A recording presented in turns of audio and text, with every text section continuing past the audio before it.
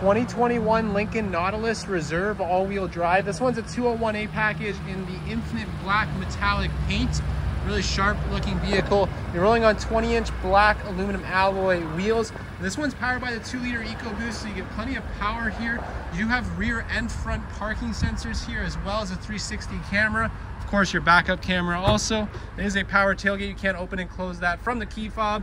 Uh, you do have your cargo area protector, also your Nautilus branded uh, bumper protector there as well. Underneath here is your original carpet mats, your mini spare tire, and some storage all the way around it. These rear seats drop with just the push of a button here. Uh, you also have a 12 volt and a little hook here if you just have one bag of groceries.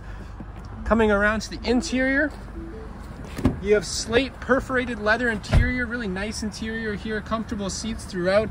Uh, the interior is in fantastic condition. You do have your Nautilus floor liners, heated rear seats, plenty of power options, your own climate vents and storage behind the driver and passenger seats, as well as cup holders there. Coming around to the front of this vehicle, uh, you do have your keyless entry keypad on the door, power windows and locks, of course, power glass adjustable folding mirrors with blind spot monitoring. They are heated. Uh, driver seat memory here and really comfortable 22 way massaging power, perfect position seats here. Uh, very comfortable seats on this Nautilus. Automatic headlights, of course, and then your customizable digital display right behind the steering wheel. Only 84,000 K on here, so plenty of life left in this Nautilus. Uh, you do have your cruise control on and off, adaptive, lane centering, etc. Your nice big 13.2 inch center display.